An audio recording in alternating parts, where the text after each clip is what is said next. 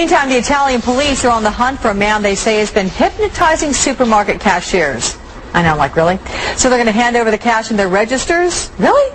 Police released the surveillance video showing one of the alleged crimes. In every case, the last thing staff reportedly remember is the thief leaning over and saying, look into my eyes before they hand over the money.